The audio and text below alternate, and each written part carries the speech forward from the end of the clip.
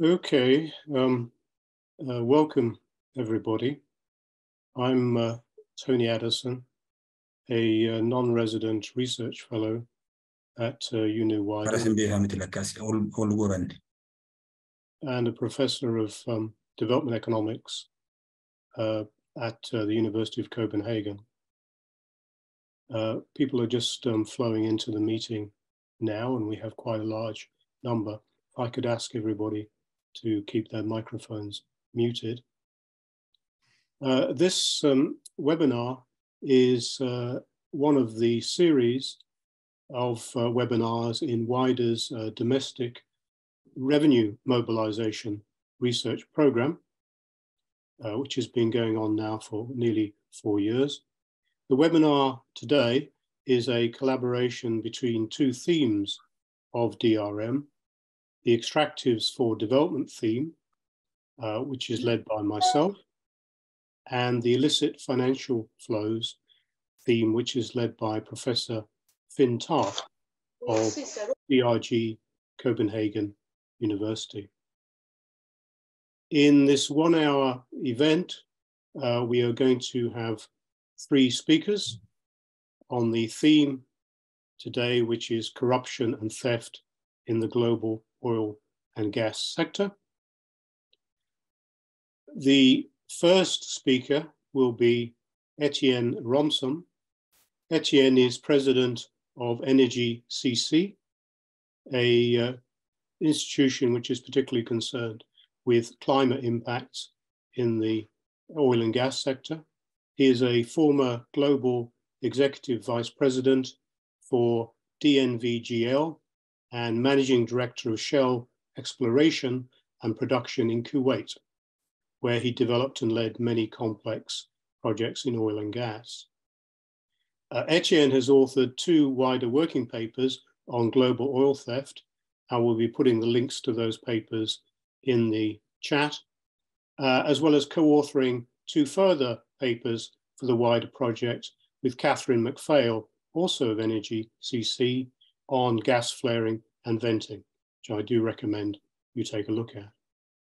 Our second speaker today will be uh, Marcolongo, who is a postdoctoral fellow at the Crime and Law and Economic Analysis Unit at Bocconi University, where she works on crime economics and political economy. Uh, Giovanna has authored a paper for WIDER on the role of shell companies in tax havens as facilitators of corruption in oil and gas. Oil and gas, and uh, we'll we'll be again putting a link into the chat uh, for Giovanna's paper. Our third uh, speaker, who will be acting actually as discussant, is Steve Kaizi Magawa, who is a senior consultant researcher at Zieka and Associates uh, in Washington, DC. Steve was previously acting chief economist and vice president of the African Development Bank, an IMF staff member in the independent evaluation unit of the fund, a research fellow, and has advised uh, many African governments. Etienne will give the first presentation, followed by Giovanna, and then Steve will provide discussion of the two. Uh, we will take a selection of questions for the panel from the chat, bearing in mind that this is a one hour webinar and we aim to try and finish roughly on time. So welcome everybody and let us without further ado move to the presentation by Etienne Romsom. Etienne, please. Uh, thanks, uh, Tony, for the uh, introduction. I'll uh, share my screen. And hopefully that, I'm just checking if that is uh, visible. Yes, that's visible, Etienne. Okay. So let me, uh, let me start. And I, I want to start the, the topic of global oil theft um, with actually a, a video uh, kindly uh, created by uh, UNU Wider. Uh, so I'm going to play it now and hopefully it will come through okay.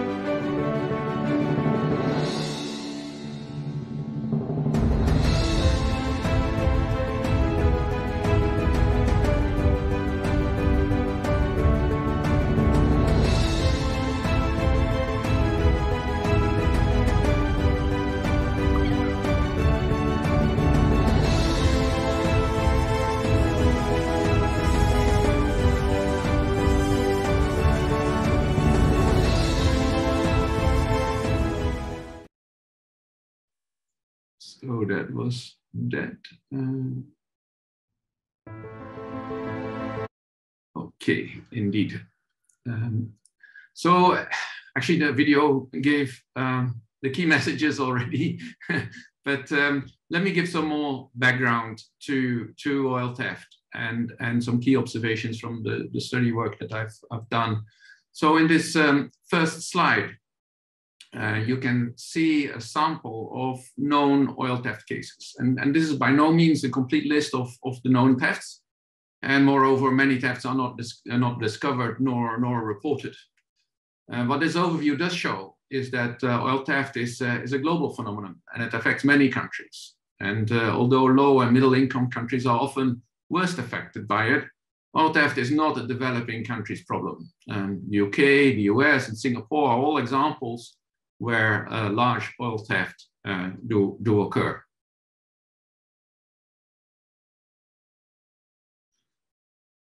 So some observations on, on oil theft. Um, first of all, the scale of uh, global oil theft is, is highly significant. And, and there are no signs that the, the, the, the amount of money involved or the, the, the, the, amount of oil that's being stolen is receding. Current uh, high oil prices uh, not only increase the value of thefts, um, but also incentivize more thefts.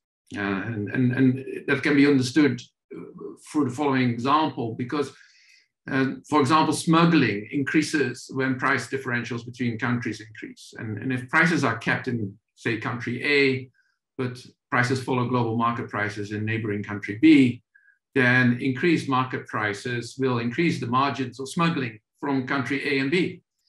And there's significant evidence that that is indeed in practice the case. Uh, the degree of smuggling and tax evasion is directly linked to cross-border price differentials.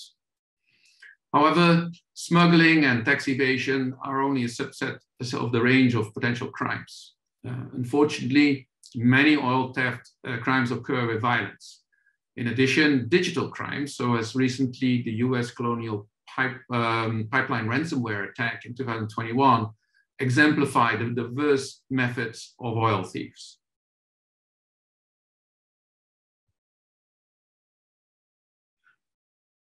There are many ways in which oil theft crimes and crime syndicates establish themselves. Um, but even if a theft originates as an opportunity crime, the crime syndicates responsible invariably develop into organized crime. One key reason for this is that the proceeds of oil theft are so large that it makes it worthwhile to professionalize it. Uh, in addition, oil theft schemes are often very elaborate and does therefore require coordination amongst multiple parties and therefore organization. Uh, moreover, the probability of oil theft detection is, is relatively low and oil theft doesn't rank high amongst other crimes. So consequently, syndicates organize their crimes so that they can continue the same thefts again and again. Uh, the Shell Bukom refinery theft in Singapore, for example, occurred over a period of 12 years and involved multiple syndicates. In this period, a total of 340,000 tons of gas oil was stolen, worth over $150 million US. The Shell Bukom oil theft syndicates involved Shell employees, bunkering companies, fuel traders, tanker shipping companies, ship crews, surveying companies, and black market fuel customers. In this example, Shell insiders volunteered willingly and masterminded the crimes. However, in other cases, such as in Pemex, Mexico, oil workers are often confronted with extreme violence and kidnapping of their family members to support the cartels in their theft crimes. Oil theft is also a source of public money or a source of money for terrorist organizations, such as ISIS, or for political uh, independence organizations.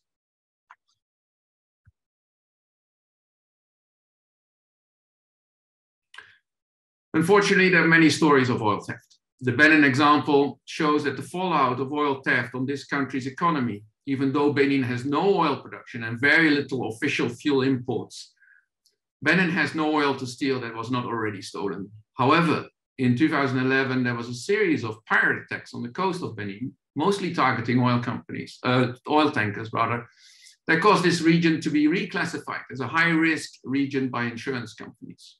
Hence, shipping companies avoided this area altogether. The port of Cotonou is a major source of income for the Benin government. when port activity declined to 70%, the government lost 28% of its revenue in 2012. Even to date, oil piracy remains a problem, also in the Gulf of Guinea. And at least two tankers were attacked in the last few days. Acts of piracy appear to be contagious, as you can see waves of activity spreading from East Africa to Asia, and now increasingly to West Africa. Of the potential piracy targets, oil tankers remain on the top of the list. If it's not to hijack their cargoes, then it is to kidnap their international ship crews.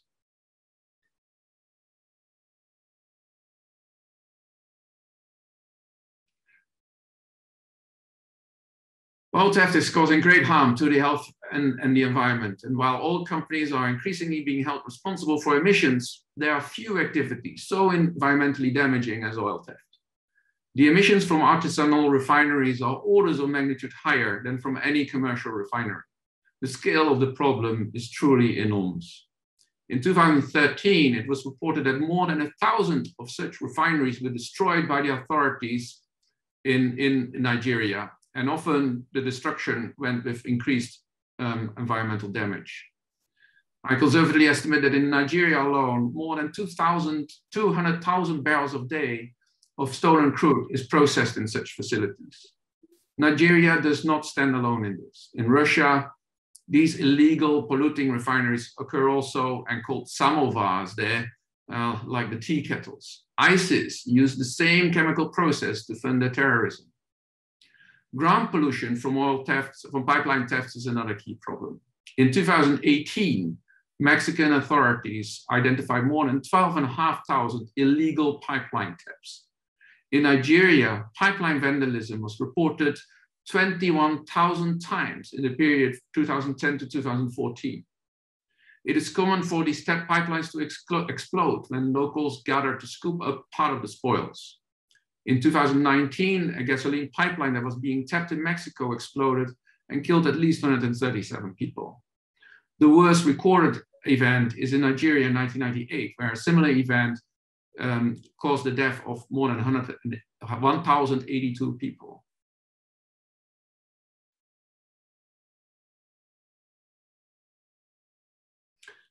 One of the key observations of my studies is that oil theft very frequently um, diversifies or originates from the so-called hard crimes. And there are many reasons for this, and I highlight a few. Oil theft is so lucrative that thieves frequently target other thieves for their spoils or to take over their territory. These crime on crime activities are generally extremely violent the skill set involved in oil theft is very practical and practicable in other crimes. The Mexican cartels, for example, use their skills in burying and burrowing smuggling tunnels now also to dig, tunnel, uh, to dig tunnels under pipelines to invisibly tap them from below ground. Smuggling routes for oil theft are also used for smuggling weapons, narcotics, counterfeit um, pharmaceuticals, and human trafficking. Very often this occurs on their return journey. Crime syndicates are businesses that are very skilled in risk management and diversifications. And when cartels are being pursued for, for example, for, for drugs, they switch to oil and vice versa. The syndicates know that they are being pursued for a certain type of activity and then flexibly adapt to reduce their exposure in this area and increase their focus in other crime areas that are at that moment less in focus.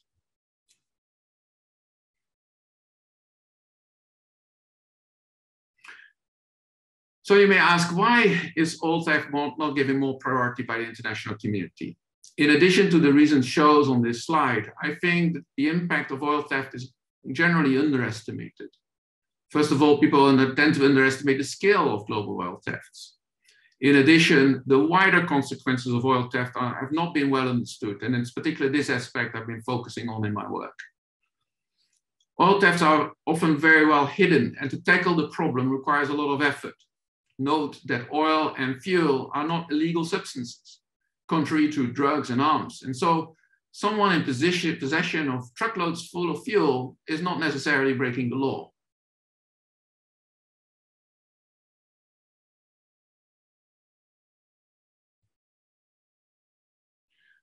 Another key piece of the puzzle is that the basic data on oil theft is generally missing. key questions need answers, such as how much oil is being stolen, where is it stolen, how is it stolen, and where is it transported to, and how are the money flows organized. When oil theft is unchecked, these criminal activities start to penetrate legitimate businesses, sometimes to provide active cover to thefts. Often, however, these legitimate companies have no idea that they're handling stolen goods or that they are sponsoring criminal activity that goes well beyond oil theft. The opportunity to make money from oil theft goes much beyond ideology. For example, the largest purchaser of oil stolen and processed by ISIS was the Assad regime itself.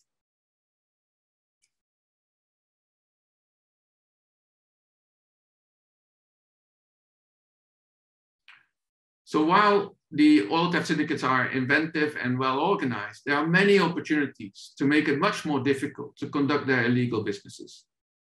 These solutions focus on the three areas where answers are most needed. Where is the oil stolen? Where and how is it transported and traded? And how are the money flows organized? The purpose of this slide is to show that many solutions can be implemented today and are the focus of collaboration uh, amongst parties. Other solutions focus on improved regulations or apply exist or the application of existing regulations specifically to target oil theft.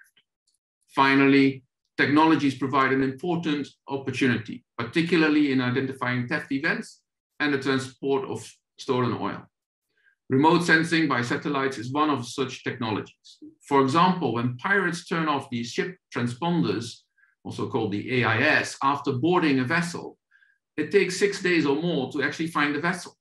In this time, anything can happen to the crew and the cargo. It should be possible to use satellite technologies to detect ships through its fuel emissions or radar signals, particularly if this is done immediately when the AI signal, AIS signal disappears. Other technologies have proven to be highly effective are chemical traces that can detect if an oil parcel is legitimate or stolen and even where it was stolen. All these opportunities give hope and means to significantly reduce global oil theft. However, the solution does require an effort by multiple parties to collaborate in solving these issues together. Only through a concerted approach on multiple fronts can we hold oil theft syndicates to account and bring a halt to their detrimental practices. Here on the slide, you see a number of those organizations that in my view are quite critical to work together to provide solutions um, to this problem. And with that, I conclude my presentation. And if you have any questions, please note them down in the chat and we'll follow up uh, after my presentation, after the presentations are finished. Thank you. Good, thank you very much, um, Etienne.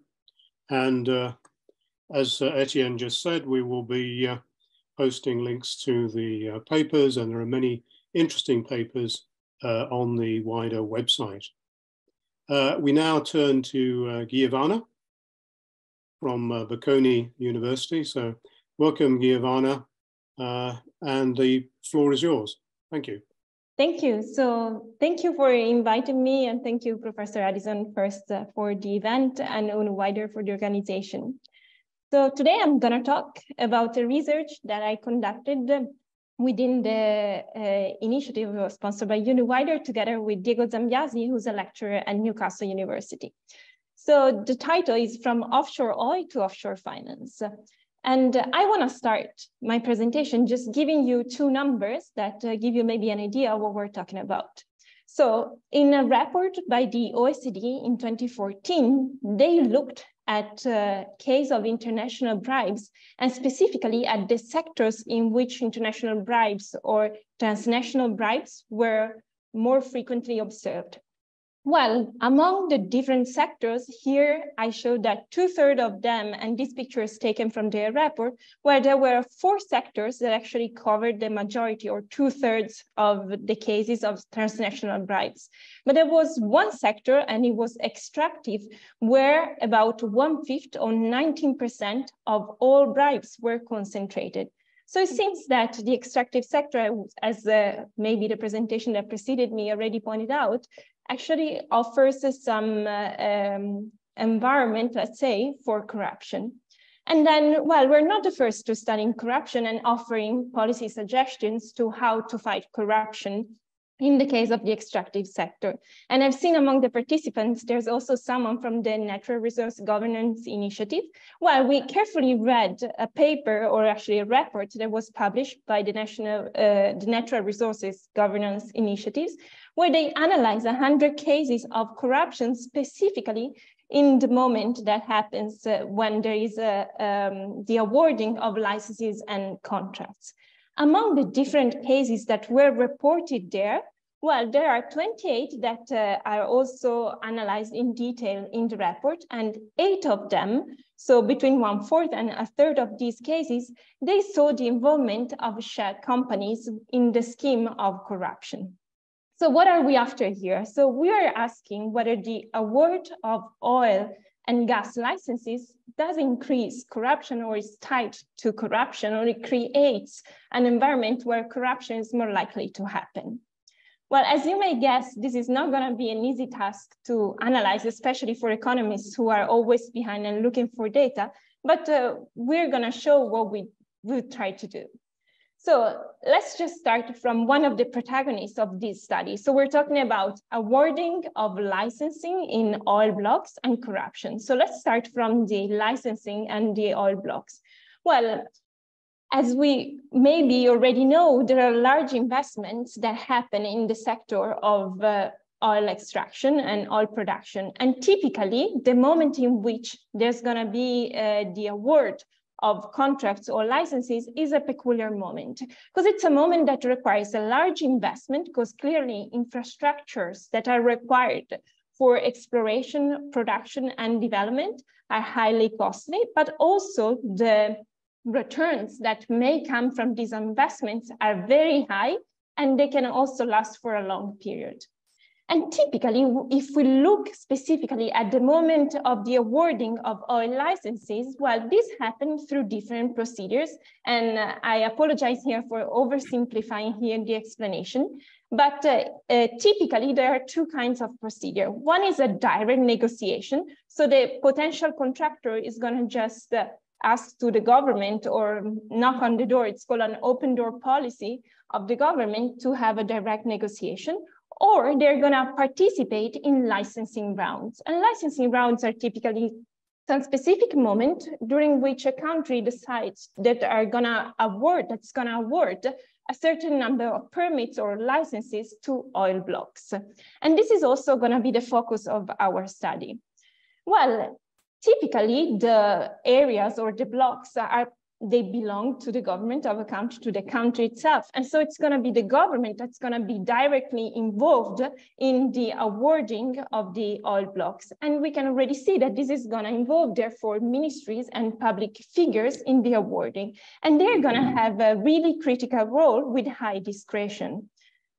Then uh, when we're thinking of licensing, and uh, this is just a, a, little bit of context that I'm gonna give uh, in this case, it's gonna say that I'm talking about two types of licenses. So there are multiple types of licenses, but here, let's uh, again, uh, apologize for oversimplify, but we're gonna focus on exploration licenses and production licenses. So what's the difference between the two? Well, typically, Let's say that we want to start a company that uh, is going to uh, produce oil tomorrow. Well, we may consider to start exploring an oil block where no discovery has already happened. And then in case we find oil there, then we're gonna maybe um, apply for uh, a production license. So clearly the exploration is something that has a risk associated with that because we may find or not oil. And usually the um, time of the award or the permission to explore an area lasts between five and 10 years. While the production is something that happens once we already know that oil is there then we can guess that probably an exploration license, it's probably in some cases is a prerequisite to apply for a production license. So suppose that there are, there's a moment when the government is gonna allow to award uh, production licenses. Well, sometimes it's gonna only allow people that have already carried out an exploration and had an exploration license. So if, going back to our example where we're starting our oil company tomorrow, oil production company, if we deem that uh, there's gonna be a large oil field in a specific area, then we're probably gonna try our best bet to get an exploration license first in order to tomorrow, in case we find the actual oil field, we're gonna be able to have higher chances to gain also a production license. Okay, so going back to our question, which was, does the award of oil and gas licenses increase corruption? I talked about the awarding moment now, and then let's focus on the corruption moment. Okay, so as we were saying, there are large rents that come from these investments. And uh, uh, I apologize, I, just, I heard some noise. Okay, so there are high, large rents that come from investment in this specific uh, sector, and particularly in, the, in investing, in getting a permit for an oil exploration. And then there is high discretion because we were saying that the government is directly involved in the awarding procedure. Well, these are two typical suspects that increase the risk of corruption in the sector. But then, as uh, Etienne was saying before, well, in the case of oil theft, it's going to be hard to find data on oil theft. Well, also in the case of the awarding of uh, licenses and uh, finding data on corruption of oil licenses is going to be a bit tricky. But here we're building on the work uh, that uh, I mentioned initially. So as I was saying, the natural resources governance initiatives, when they study the different cases of uh, corruption occurring in the awarding of contracts, they underline how shell companies often play a role in facilitating corruption. And here we can think, uh, and I'm going to exemplify just three cases of why shell companies could play a role. So first, if we think that there's going to be an auction on an awarding procedure of uh, uh, oil permits, well, there's going to be a bunch of companies probably that are going to apply to gain the award. And uh, it could be the case that among these companies, there are going to be companies that are linked to politically exposed people, if not directly owned by politically exposed people. And these are shell companies that actually do not own the infrastructure and the capabilities to carry out the necessary investment to take advantage of the exploration and production. But still, they have a vested interest in winning the award and then in case transferring it to a company that does have the actual capability as infrastructure. So the shell company here will offer the opportunity to the person that's involved, say the uh, person that's linked to the politically exposed person or the politician himself to hide his identity via a shell company, win, for example, the permit and then resell it. Another case could be that companies that are participating in the awarding round they have they're gonna try for example to bribe the politicians or to bribe uh, the people who are administering the process and uh, clearly it's gonna be um, easier to hide and uh, to carry out their bargaining procedure behind a secret uh, layer as provided by a shell company compared to doing it at uh, um, like uh, clearly and just directly within the country. So one way, for, for example, the company could set up a shell company offshore, direct the money there, and then make as a beneficiary of that company the politician or someone that's linked to the politician who's involved in the awarding procedure. Ultimately, the same politician himself could be interested in embezzling some of the rents that are coming, for example, from the signing bonus of the award. And in this case, he could decide to, or he or she could decide to siphon off some of the funds by channeling them to a shell company that's tied to him or of whom of which he is the ultimate beneficiary. So these are just some examples of how shell companies could play a role in facilitating corruption in a critical moment, as is the moment of the awarding of oil licenses. So just some descriptive evidence of what we do find. So this is just uh, to give you an idea of how we started essentially this project. So these three lines that are being uh, um, graphed on the picture, each represent a different time series or a different uh, uh evolution of either in the case of uh, the green dots is the total number of shell companies that are being incorporated over time. The blue line is the oil price over time. And in that, and the red line or the line at the bottom is the number of awards, being it for exploration permits in this case, that are being awarded over time.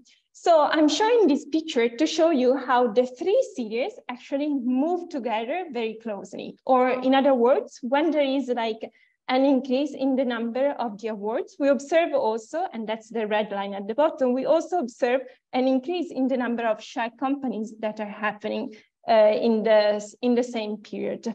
And the blue line is to say, why shall we think also that oil price plays a role in this case? Well, if oil price increases, well, the rents of the investment in the oil sector are probably gonna be higher because then that means that the oil we find then we can sell it at a higher price. So the same uh, contract or the same license could be more profitable, and then it could be more likely that uh, uh, we are willing to uh, get involved in a corruption scheme. So in other words, when there is uh, oil price increase, there is high profit, higher profitability from the investment, and that could lead to a higher chance of corruption. So what do we find actually? And uh, to transfer that uh, graph that I've shown you into some words, well, we do find that uh, when there is, uh, uh, in the six months around the awarding of an exploration license, we observe an increase of 11% in the number of shell companies whose beneficiaries are tied to the country or they belong to the country that's uh, awarding the contract. And this association is actually stronger during an oil boom, or in other words, when there is an increase in the price of oil and uh, we're about to award, and a country is about to award an exploration permit, we observe an even further increase in the number of shell companies that uh, are being incorporated compared to when there is no increase in the price of oil. But then uh, you can ask me, but how do you find all of these? Well, going back to the two protagonists of our story, we were talking about awarding of uh, awarding of exploration and uh, production permit and shell company. So we obtained data from a business intelligence provider on where the blocks are placed around the world and when different oil permits are being awarded uh, and uh, being it for exploration or production in the different blocks in the different countries over time. So here we have one protagonist. The other protagonist is the shell companies. Here we exploit leaked data from the Panama Papers and the Paradise Papers.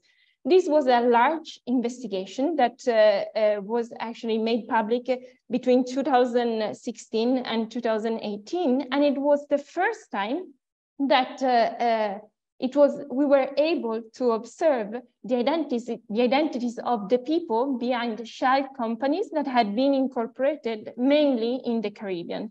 And uh, by essentially Mossack Fonseca and Appleby as two uh, main companies that were involved in the incorporation of shell companies.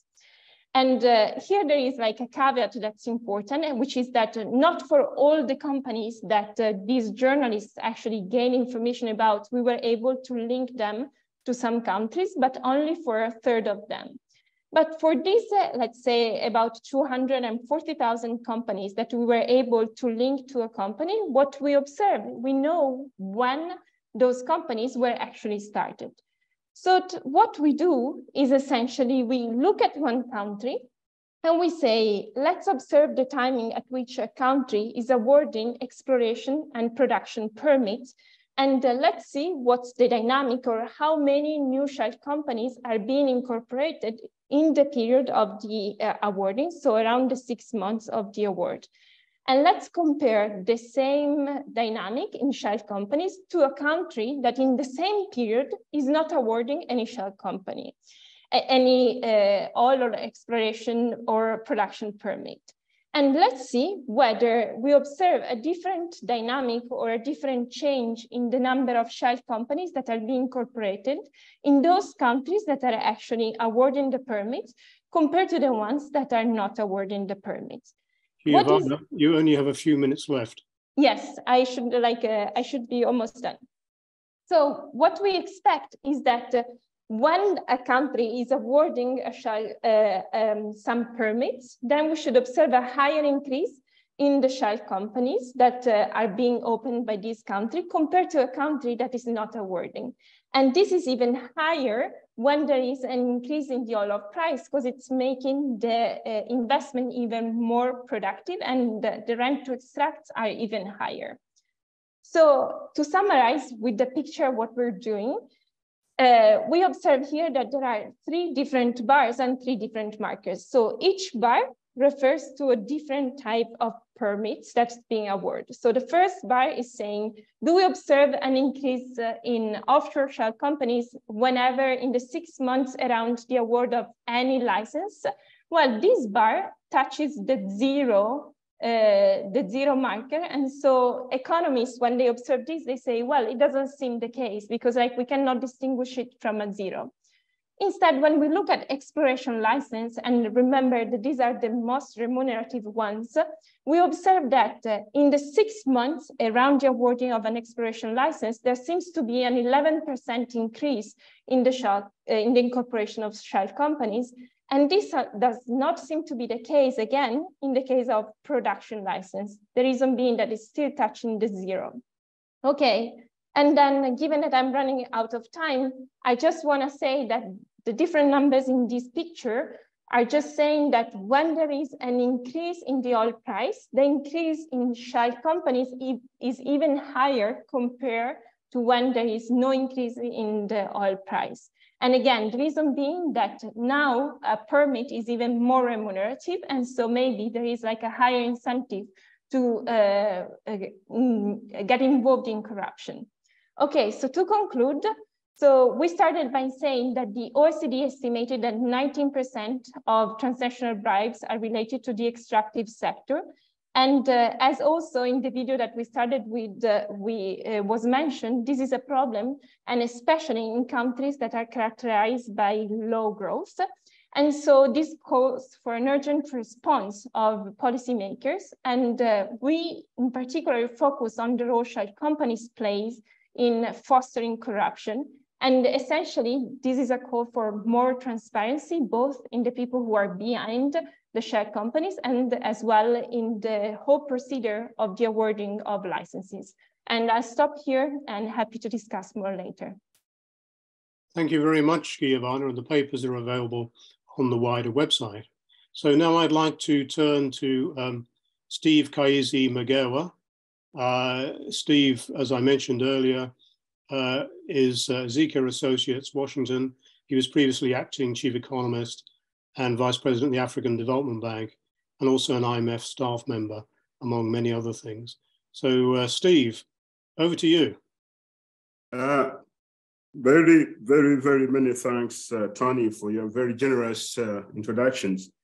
Also, thank you, WIDER, for bringing me back again to comment on these very interesting papers. I found them extremely interesting. Um, I hope I will do justice to them in less than 10 minutes. So I'm going to be brief. Uh, when I looked at the papers, I, I had four immediate uh, sort of responses and questions. The first one was that um, it seems like, like natural resources, especially oil, are sustaining a group or a cabal of corrupt individuals and institutions around the world to bend the rules of the international uh, governance system. And uh, with impunity, by the way.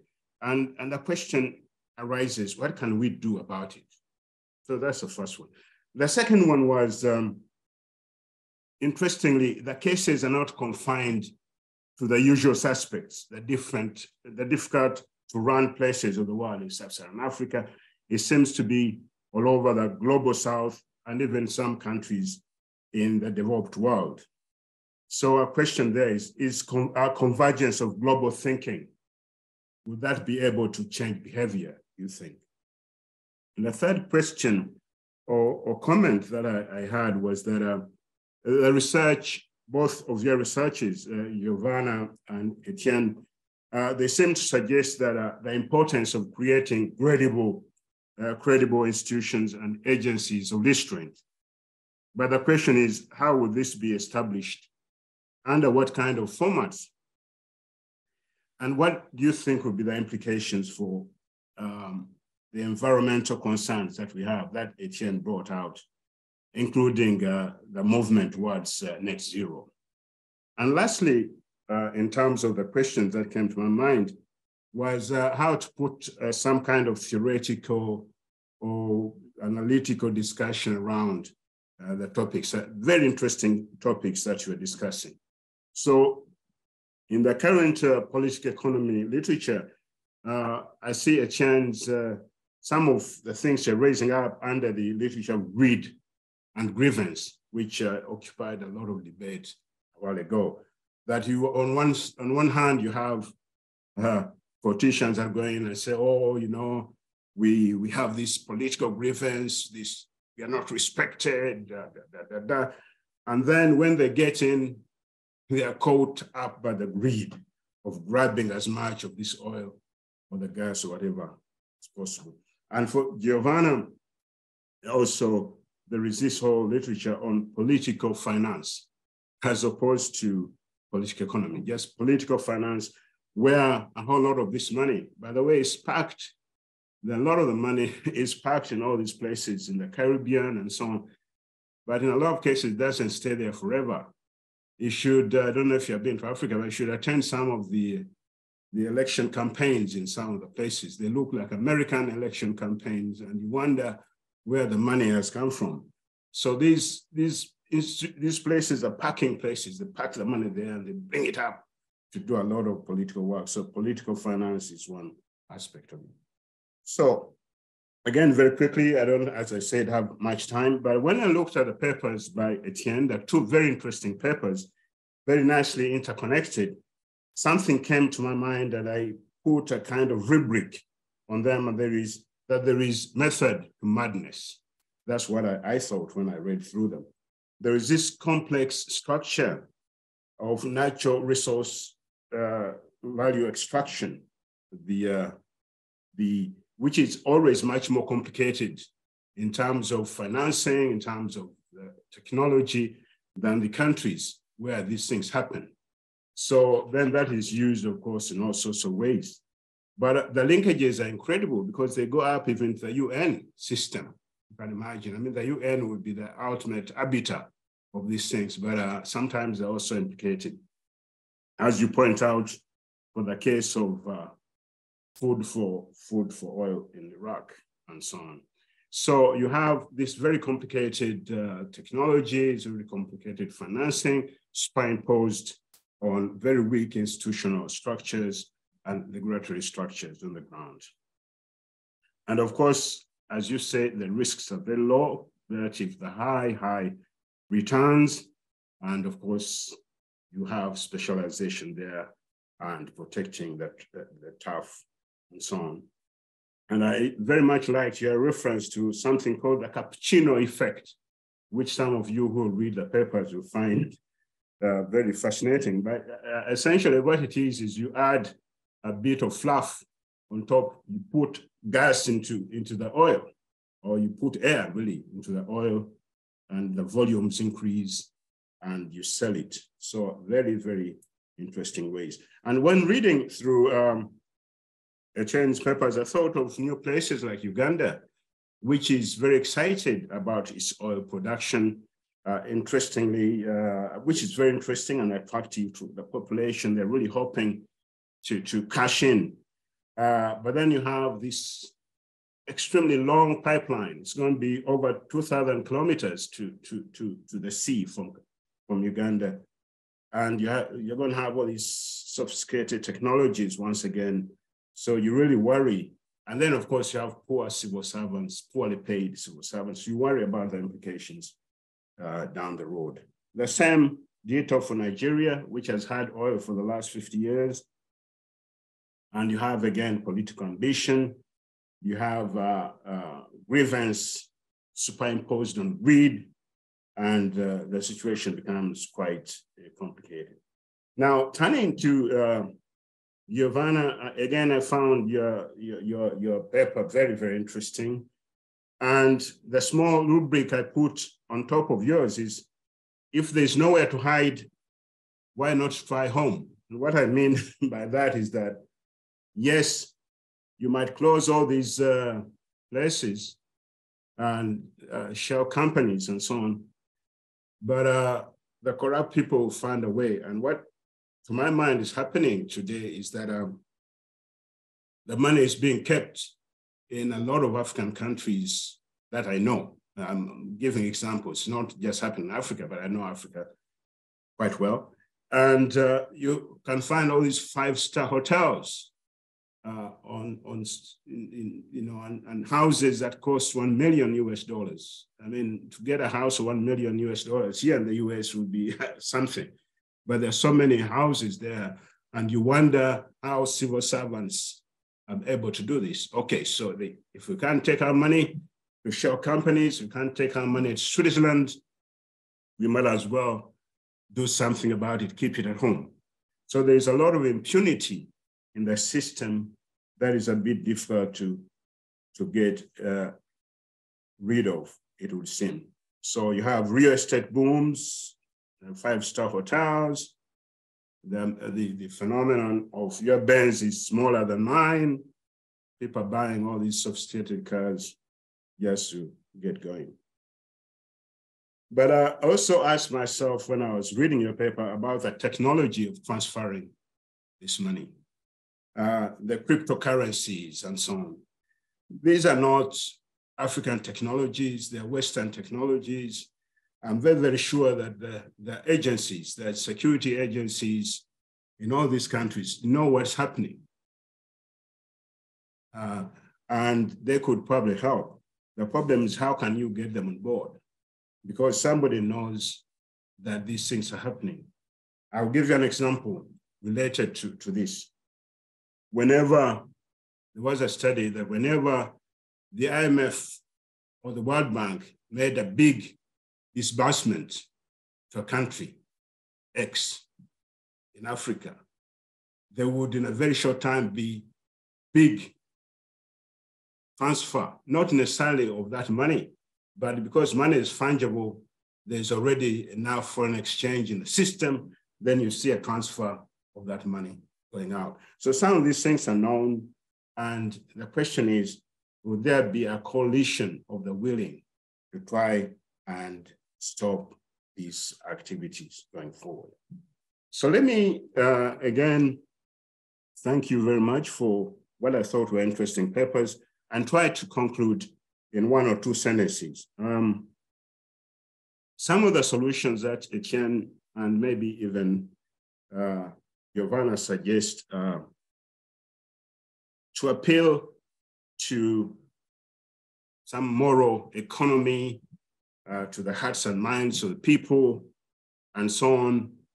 But my question is, what if the whole system is sort of captured, as you have seen in some cases, where the local elites, you see, what happens is in some of these places, the local elites are stealing money you might see them as uh, crooks, but there's a section of the population that sees them as our sons and daughters.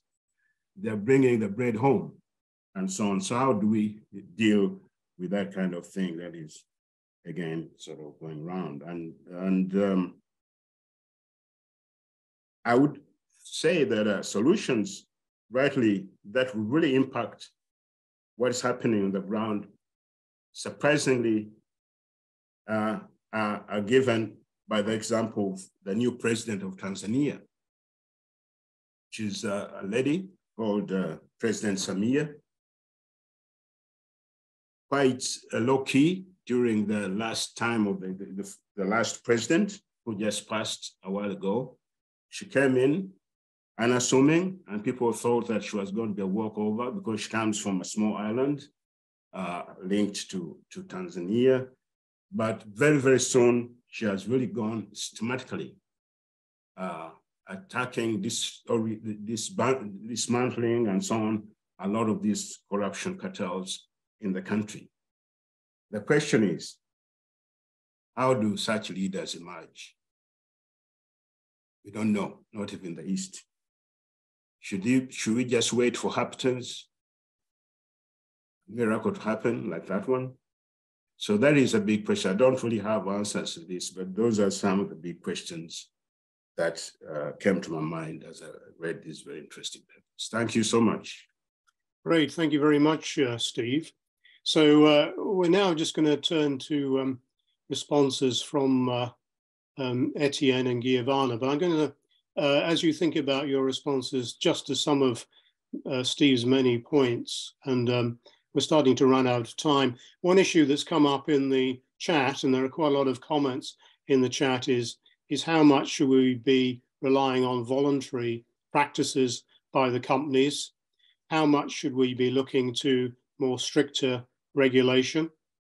Um, and you know who's going to be responsible for overseeing that? And uh, one specific question for um, Etienne that um, that came up was uh, if default emission penalties are assessed on oil companies, Etienne, default emissions penalties are assessed on oil companies, will this change incentives towards or against illegal activity. Okay, so I'd like to hand over now to Etienne for a brief response and then to Giovanna. Thank you. Yeah, and, and I'll also try in the meantime to respond to some of the questions that have come in and, and some of the overlap between Giovanna's and, and my presentation. I, mean, I think if I were to summarize, I would say uh, oil theft and corruption is a business. And that's why it links to oil price. I said the same thing in my presentation. If oil price goes up, the oil theft goes up. And, and Giovanna shows the, the, um, uh, the, the, the, corruption goes up. And that, uh, clearly that's a business response to an external driver. And um, let that be no mistake, the, the, the, the, organizations and companies that are behind these activities know very well what they're doing and they're excellent in managing risks and uh, extremely clever in finding new business methods to continue what is a very lucrative um, kind of kind of deal. It's not a one-off. It's it's, it's clearly a, a business proposition. Um, I want to quickly react to one of the questions that came in. This is a quite difficult one, and I described it in my report in quite a bit of detail. This is the whole thing about moral economy um, that, that was just uh, raised as well like if the government cannot take care of distribution of, of uh, energy access for its people, then you shouldn't be uh, surprised that if uh, how to say uh, uh, other organizations, illegal organizations, will do it for you and, and give the people what they need. And I I I, i understand the, the the rationale, but still I think it's a flawed argument.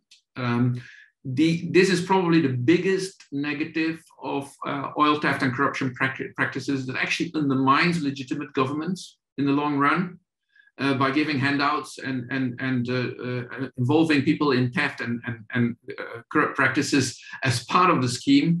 Uh, and ultimately, it doesn't help the, the society at all. Um, of course, the, the government has a job to do to provide energy access to its people but uh, through these practices, actually, it's it's it's compromised in doing so. So it's a bit of cause and effect, but I think the the root cause of the problem is the theft, not the government. Okay, um, thank you very much, um, Etienne. So, um, uh, Giovanna, briefly, would you like to respond to yes. Steve's made or anything that's come up? Perhaps yes. Yeah, definitely. So thanks again, like uh, uh, especially thank you. One, some of the questions that you raised are probably some million dollar questions as well. But uh, if I wanna give like my contribution, so I was actually thinking how to translate these into practical suggestions.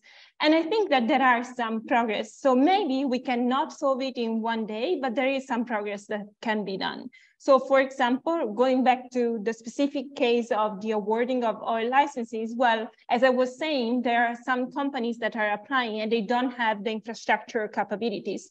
So we should first impose or maybe it should be mandatory that the companies that participate do have the requirements in terms of infrastructure and capital to carry out check that they are not uh, linked to politically exposed persons. But then going back to the question of the chat, shall we rely on the companies themselves to provide this? Well, no, probably this is a role that must be taken by super partners organization and international organizations. So as I mentioned before, there is already the natural resource governance uh, institution uh, that is already initiative that's already involved in this.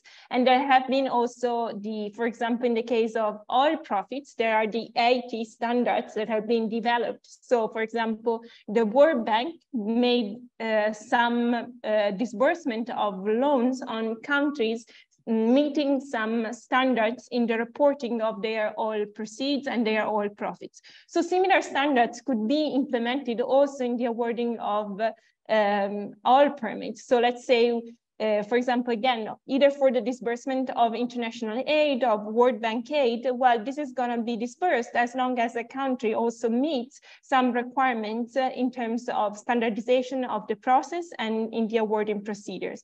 And finally, uh, probably just to summarize all my discussion, the easiest uh, anecdote to all this is transparency. So it's true, as you were saying, that uh, uh, the shy companies are sometimes just uh, um, a stepping stone to then bring the money back.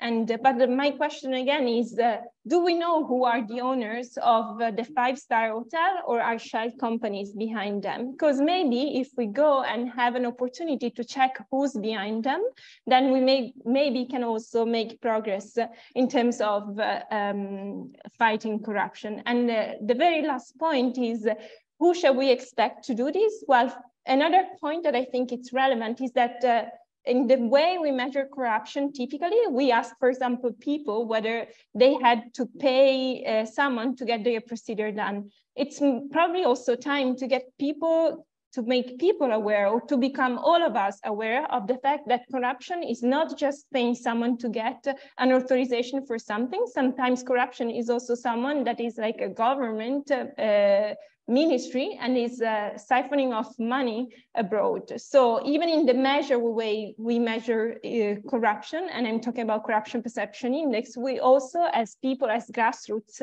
as population must become aware of the fact that corruption is, uh, it has different uh, shapes and some of them are also uh, shell companies and siphoning money to tax havens.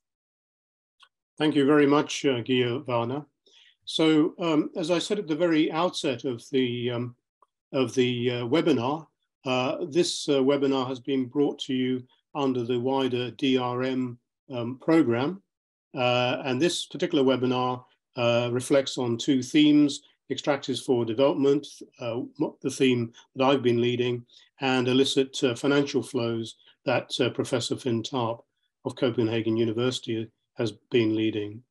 Um, so do visit our website. There's a lot of material up there uh, for your interest. It remains for me to thank very much our speakers, uh, Etienne Romsom, uh, Giovanna Marcolongo, and Steve Kayizzi-Mugerwa for their very interesting and stimulating presentations. I think you'll go away thinking this is a very important issue, which has been underemphasized by the global uh, community. There will be further uh, webinars in this series, so do look out for them on the WIDER website or on social media. And I'd like to thank uh, WIDER and the WIDER staff, um, uh, Jutta and Anna, for organizing uh, this meeting, the practicalities. So thank you wherever you are in the world. Um, thank you for coming and thank you for your participation. Thank you. Thank you.